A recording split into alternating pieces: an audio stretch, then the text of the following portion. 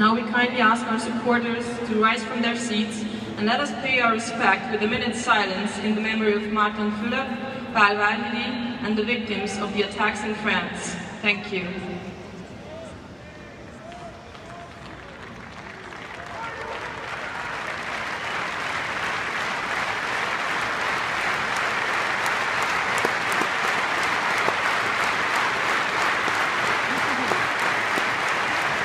jobb oldalon.